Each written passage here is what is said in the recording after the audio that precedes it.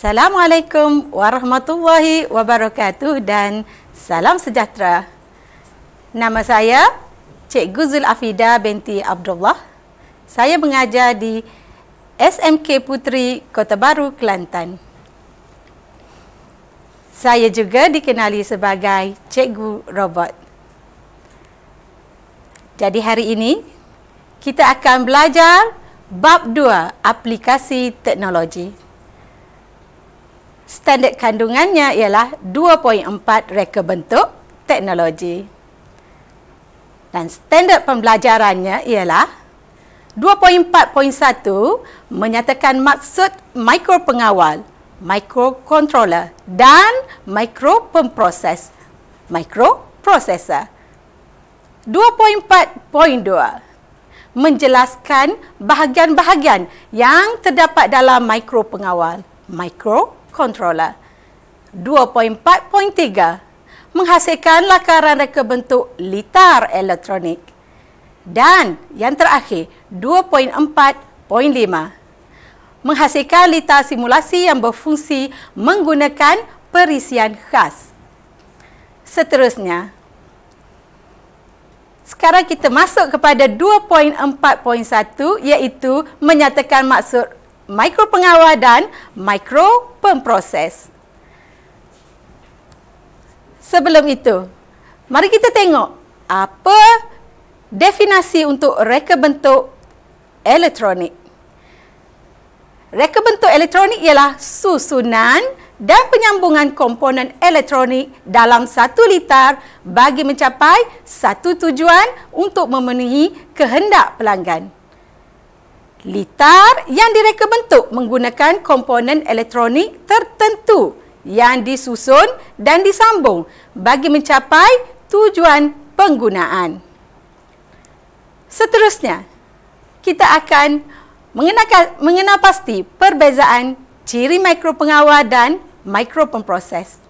Apa itu mikropengawal? Mikropengawal ialah mikrokomputer dalam satu chip tunggal. Jadi ingat, mikropengawal ialah yang terkandung dalam satu chip tunggal. Dan mikropemprosesan pula ialah pemproses dalam satu chip bersama sokongan chip-chip lain. Pemprosesan dalam satu chip bersama sokongan chip lain. Mikropengawal juga melakukan kawalan bagi litar kecil manakala mikropemproses melakukan kawalan yang lebih besar. Jadi kita tengok apa contoh untuk mikropengawal dan mikropemproses. Contoh untuk mikropengawal ialah litar mesin basuh. Di mana jika kita hendakkan mesin basuh kita berfungsi untuk membasuh dan mengering, kita cuma tekan start dan dia akan menyiapkan pakaian kita sehingga siap. Maknanya satu arahan. Manakala mikropemproses ialah contohnya komputer riba. Komputer riba boleh melakukan banyak perkara. Sekarang saya akan uji ingatan anda. Hmm. Cuba fikirkan apa perbezaan antara mikropengawal dan mikropemproses. Cuba ambil masa. Hmm. Okey. So kita ulang balik. Mikropengawal ialah peranti kawalan dalam satu chip mengandungi input output, pemproses, RAM, ROM dan berfungsi untuk mengawal input dan output. Biasanya digunakan untuk melakukan kawalan kecil dan contohnya ialah mesin basuh automatik. Pengulangan sebegini dia akan menguatkan ingatan kita. Dan mikropemproses ialah pemproses mikro bersama satu chip bersama sokongan chip-chip lain. Input output RAM dengan ROM. Kebiasaannya digunakan untuk aplikasi atau kawalan yang lebih besar. Contohnya penggunaan dalam komputer riba. Sekarang kita tengok rajah blok untuk mikropengawal dan mikropemproses. Jika kita tengok gambar rajah blok mikro pengawal, keempat-empat komponen ini berada dalam satu chip. Dan jika kita tengok pada microprocess, dia ada berada dalam satu dia berada berasingan secara berasingan. Okey. Seterusnya 2.4.2 menjelaskan bahagian yang terdapat pada mikro pengawal. Jika kita lihat di paparan skrin, ini adalah contoh papan mikro pengawal yang terdapat di pasaran. Contohnya ialah Arduino Uno, Carrot Board, Arduino Nano, Lilypad Arduino dan Maker Uno. Sekarang kita tengok apa yang terkandung dalam mikro pengawal.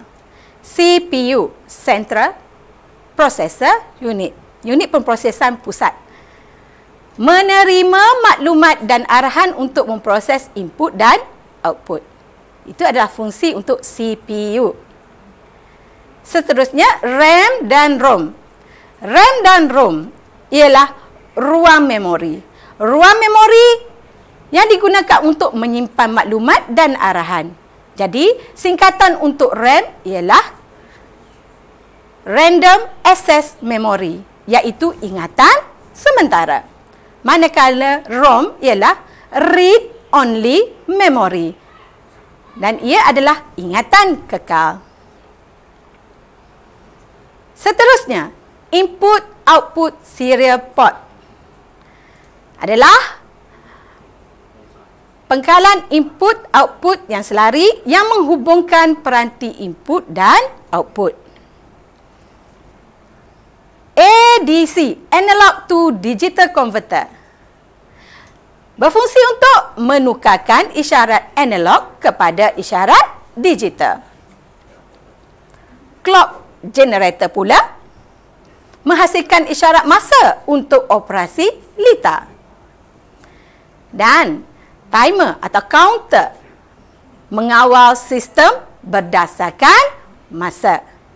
Jadi enam perkara ini kita kena faham dan kita kena tahu fungsi masing-masing. Okey, sekarang kita lihat bagaimana mikro pengawal berfungsi. Input, proses, output. Okey, ini adalah gambar rajak yang asas input, proses, output. Jadi untuk mudah mengingatnya, kita perlu ingat akronim IPO. IPO.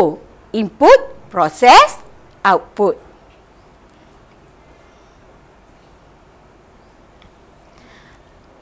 Okey, sekarang bagaimana mikro pengawal berfungsi?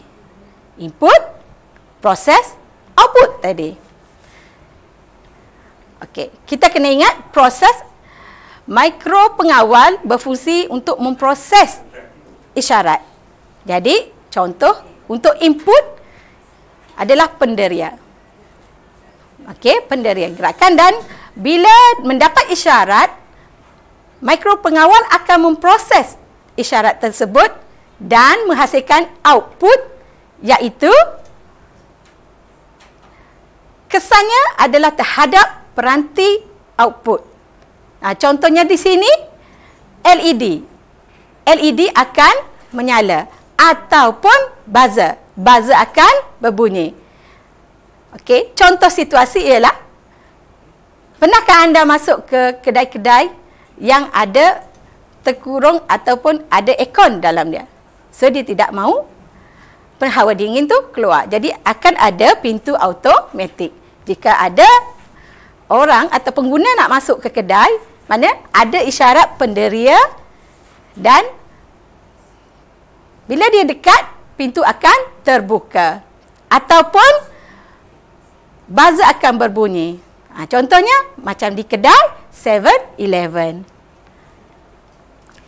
Sekarang kita beralih kepada peranti input. Cikgu akan jelaskan jenis dan contoh untuk peranti input. Peranti input terbahagi kepada dua. Sebelum tu, cikgu ingin jelaskan peranti input ialah peranti elektronik yang berfungsi membaca nilai persekitaran dan menghantar isyarat tersebut kepada CPU, Central Processing Unit. Okey. Dan dia terbahagi kepada dua iaitu peranti input digital iaitu dia hanya dapat menghantar dua isyarat kepada mikro pengawal. Dan satu lagi ialah peranti input analog iaitu ia dapat menghantar lebih daripada dua isyarat. Dia ada julat di sini ya. Jadi apa contoh untuk peranti input digital? Ya, jika tengok gambar di di paparan skrin tu, aa, mungkin aa, murid-murid pernah lihat peranti tersebut. Okey, ini adalah gambar Swiss tekan. Ya betul, Swiss tekan. Yang ni pula gambar apa ya? Ya, penderia gerakan. Untuk peranti input analog pula, aa, contohnya ialah hmm, pernah tengok tak? Ya, ini adalah penderia suhu. Ini pula ialah penderia jarak. Dan ini adalah penderia cahaya.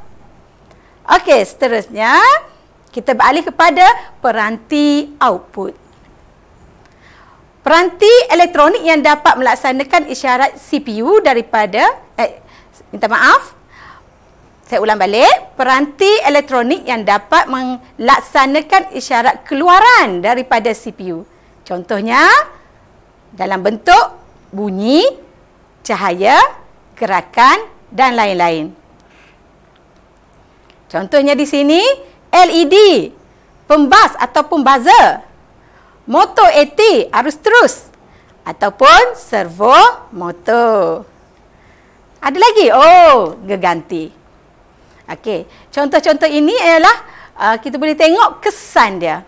Okey, bila kita menerima arahan daripada input, kesannya akan berlakulah efek kepada bunyi, cahaya, gerakan Swiss dan kawalan dan lain-lain. Sekarang kita tengok komponen asas. Komponen untuk elektronik. Jadi di sebelah sini ialah uh, gambar untuk komponen yang bergambar. Contohnya LED. Jadi kita akan guna simbol LED tu seperti dalam skrin. Ada anak panah ke atas ya ada positif dan negatif. Kemudian peranti uh, perintang simbolnya ialah garis V seperti dalam tu. Swiss tekan simbolnya begini dan buzzer simbolnya seperti di skrin. Dan contoh pemasangan untuk LED Uh, untuk pengetahuan, ah, LED dia ada kekutupan. Bermaksud dia ada kaki positif dan negatif yang perlu disambung pada port yang betul dalam mikro pengawal. Jika kita tersalah memasang kekutupan ni, maka mikro pengawal dan projek kita tidak akan berfungsi. Jadi perhatikan kaki positif negatif atau dipanggil anode dan cathode. Okey, seterusnya beralih kepada 2.4.3 menghasilkan lakaran reka bentuk elektronik. Sebelum tu kita kena kena pasti jenis-jenis lakaran lita. Okey, lakaran lita ada tiga iaitu lita bergambar. Contohnya seperti di paparan ni dia adalah gambar yang sebenar. Okey. Kemudian lita skematik iaitu menggunakan simbol-simbol komponen elektronik yang kita belajar sebentar tadi. Dan rajah blok. Okey, seperti di bawah. Okey. Untuk menghasilkan projek elektronik, kita perlu mengikut carta alih. Jadi kita tengok carta alih penghasilan projek reka bentuk elektronik. Okey? Langkah yang pertama ialah lakaran.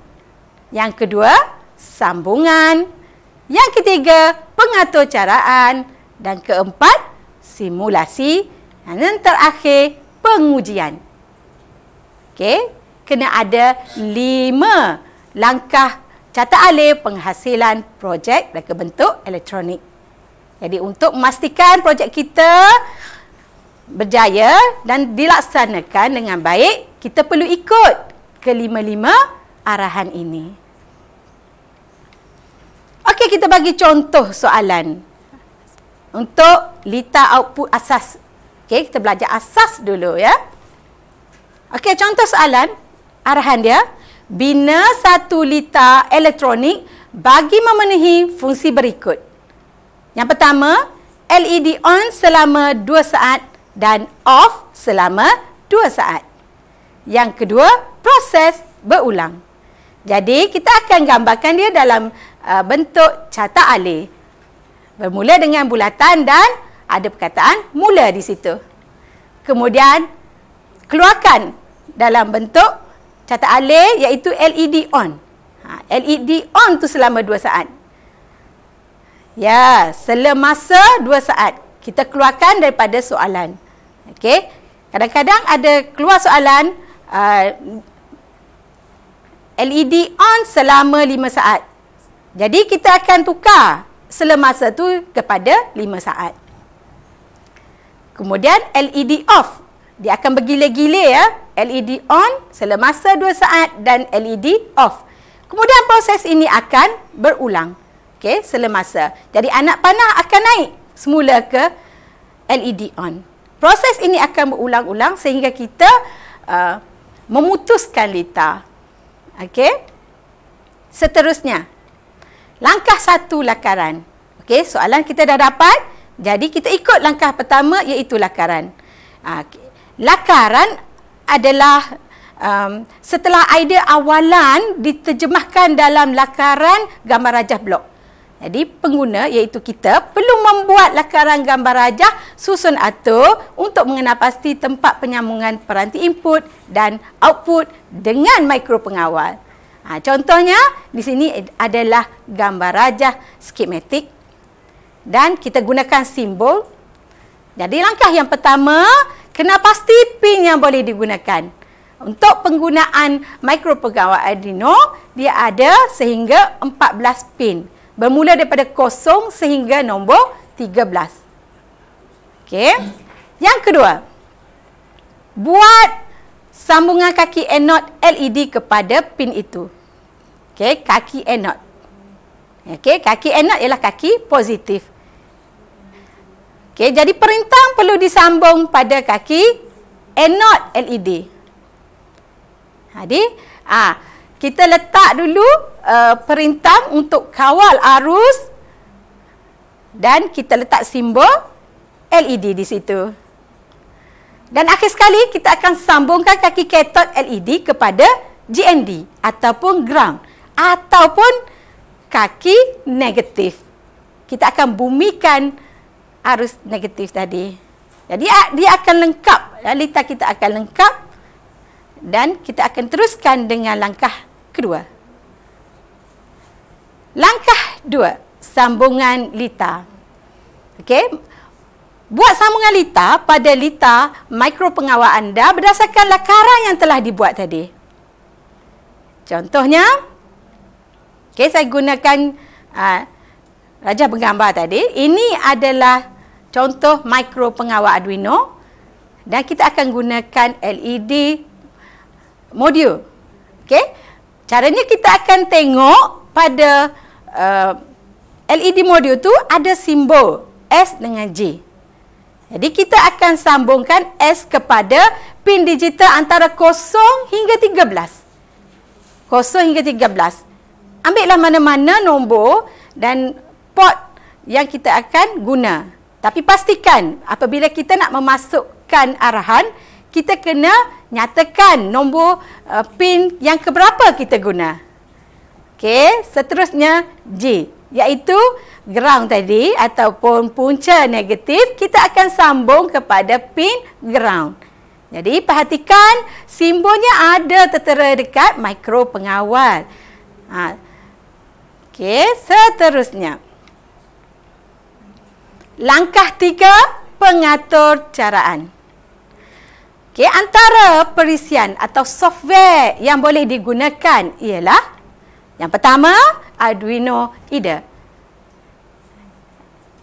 Ataupun penggunaan bahasa C. C language programming. Yang kedua, ArduBlock. Graphical Based Programming. IDE Extension. Yang ketiga ialah M-Block. Graphical Visual Based Programming. Ini adalah uh, asas. Tapi uh, mengikut perkembangan sekarang, sudah makin banyak software yang membantu dalam PDPC.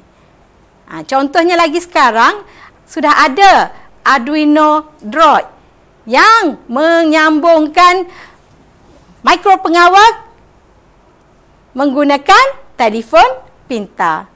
Jadi di sini penggunaan komputer dapat diminimalkan. Okey, diminimalkan.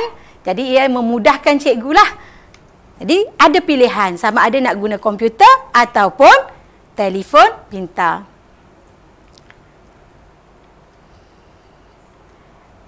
Untuk hari ini kita akan uh, contohnya di sini ialah uh, cikgu akan menerangkan contoh peranti untuk memasukkan pengatur caraan. Okey. Okay, kita tengok di rajah di sebelah ni uh, menulis arahan pengatur caraan lita 1 output LED kita menggunakan software Arduino IDE yang menggunakan komputer. Okey.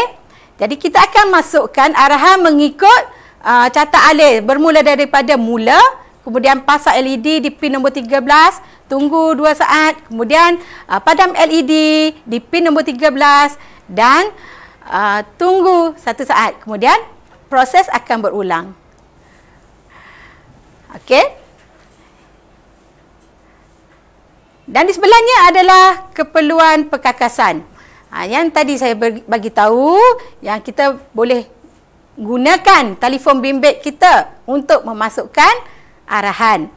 Ha, ini di bawah ni adalah contoh aplikasi yang kita boleh muat uh, muat turun daripada uh, apps Play Store. Okey. Seterusnya uh, 2.4.4 membina lita simulasi yang berfungsi dengan perisian khas. Jadi, sebelum membuat penyambungan lita input dan lita output pada papan projek mikro pengawal, lita simulasi boleh dibina untuk menguji lakaran lita yang dibuat bagi memastikan lita yang dibina adalah betul. Bermaksud di sini, jika kita guna lita simulasi, kita tidak perlulah lagi guna uh, projek yang sebenar. Tapi sebaiknya kita guna yang sebenar sebab projek itu kita akan tengok depan mata. Kalau simulasi, kita tidak dapat uh, satu kepuasan untuk pegang uh, projek kita tu. Jadi perisian khas yang boleh digunakan untuk membuat uh, uji kaji ataupun pengujian lita kita boleh gunakan Scratch, Edison, Edison uh, Tina Pro, Crocodile, Yenka Teknologi dan perisian yang berkaitan.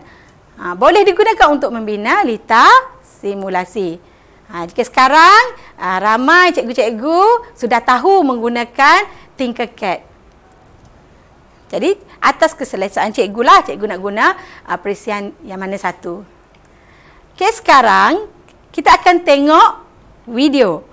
Contoh pembinaan lita simulasi.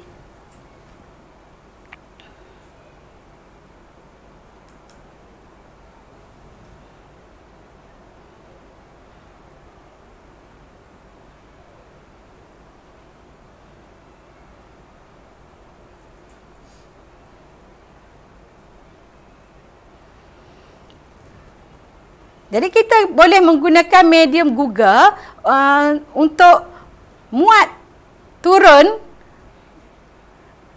Tinkercad untuk membuat simulasi kita. Jadi kita boleh guna akaun Google persendirian ataupun uh, Google yang dibekalkan oleh pihak uh, kementerian.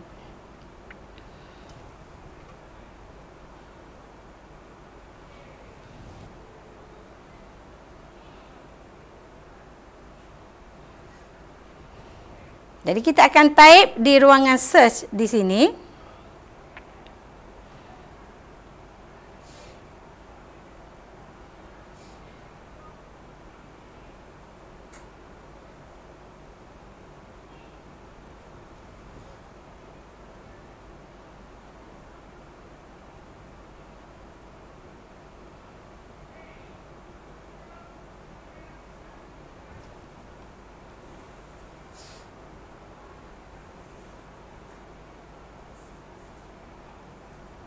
Okay, type Tinker Cat.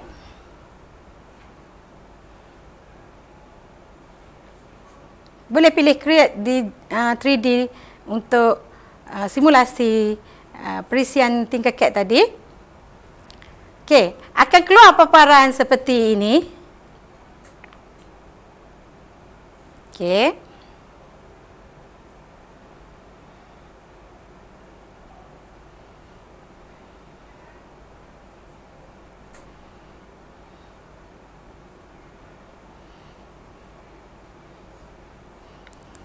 Okey, jika kita belum ada lagi akaun untuk Tinkercad, kita boleh uh, sign in ataupun daftar terlebih dahulu sama ada menggunakan uh, Google account ataupun Apple account.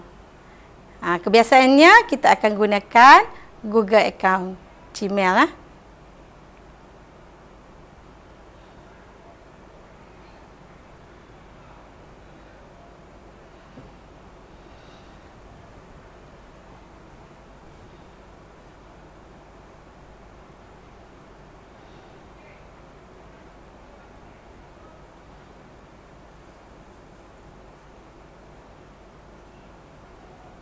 Okey, ini adalah paparan setelah kita uh, daftar. Jadi kita boleh pilih sama ada 3D uh, design, circuit ataupun code block ataupun lesson. Okey, di sini ada banyak banyak pilihan uh, yang kita boleh pilih untuk lakukan aktiviti latihan yang menggunakan Arduino. Jadi kita akan create new circuit.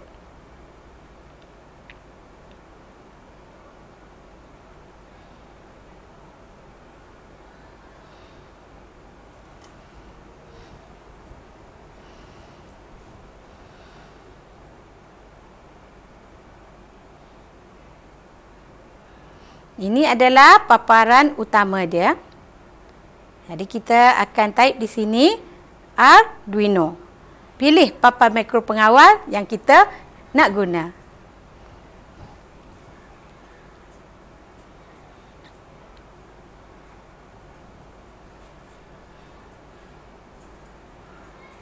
Untuk projek ni kita cuba buat simulasi menggunakan Arduino Uno.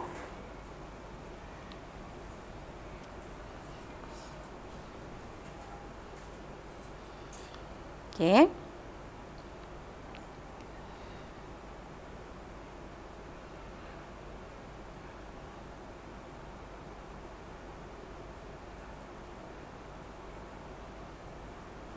Okey, kita cuba tambah perintang. Okey, tarik saja.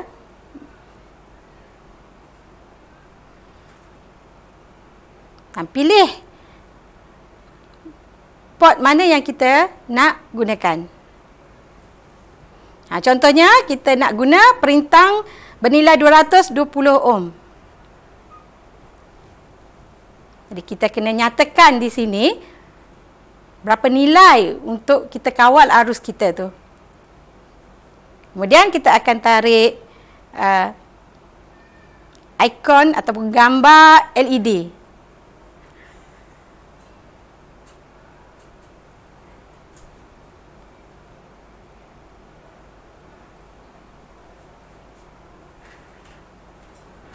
Okay.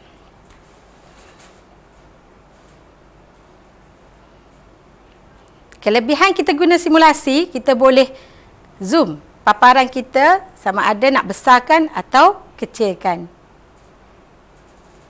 Sekarang kita akan sambung. Nah, kalau yang sebenar, ini adalah wayar atau kabel untuk disambungkan kepada port. Tapi bila simulasi, kita cuma tarik saja. Yang berwarna hijau adalah uh, simbol untuk wayar penyambung. Jadi kita cuba. Cuba start simulasi kita tu.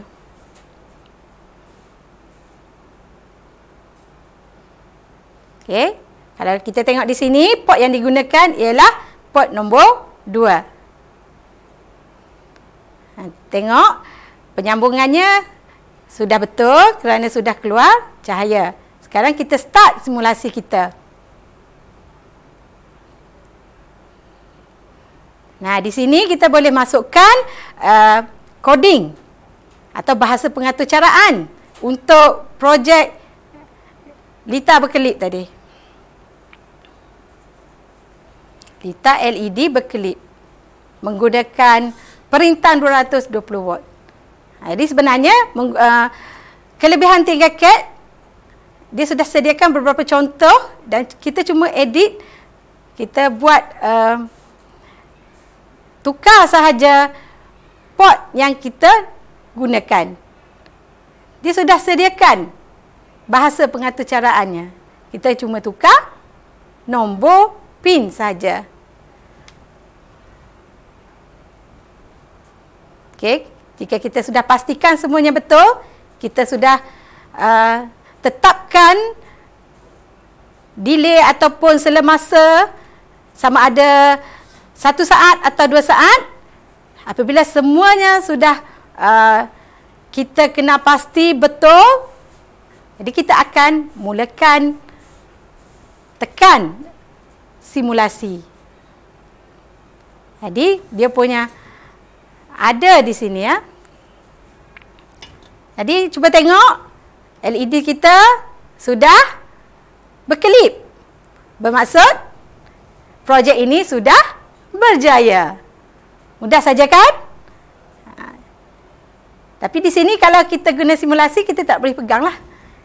Kalau kita ada yang sebenar dan kita ada dua-dua simulasi, maka ilmu kita tu akan lebih banyak. Kita akan dapat lebih banyak idea. Ha, contoh kita nak tambah lagi LED. Kita boleh tambah saja pada paparan pada skrin kita tu. Okey. Itu saja.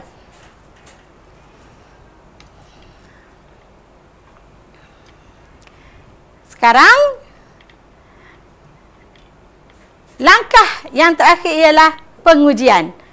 Iaitu kita nak membuat ujian kefungsian lita. Okey, jika kita pastikan sama ada simulasi atau projek sebenar kita sudah berfungsi, maka kita boleh guna borang yang kita namakan borang ujian kefungsian lita. Jadi kita akan tanda keputusan amali menggunakan jadual penilaian tersebutlah. Ha, kita uji satu-satu. Kalau kita guna Swiss, kita tengok kesan dia. Jika Swiss tidak ditekan, LED merah off. Ha, yang ni kalau kita guna dua LED. Ha, kalau kita guna satu, kita tengok dia berfungsi atau tidak berfungsi. Jadi kita boleh tanda klik uh, ataupun tik pada uh, borang tu sama ada berfungsi atau tidak berfungsi.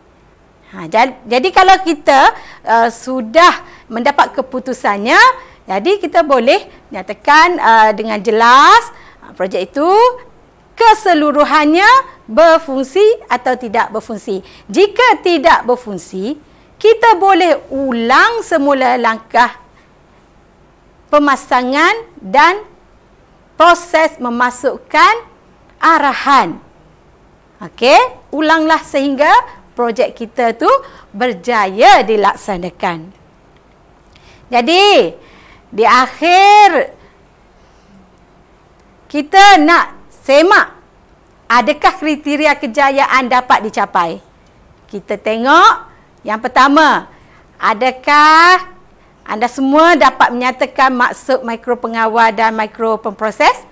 Ha, jika berjaya, kita dapat sebut bermaksud kita sudah berjaya mencapai standard pembelajaran 2.4.1.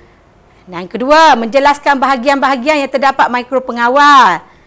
Ha, yang ketiga, menghasilkan lakaran dan bentuk litar elektronik.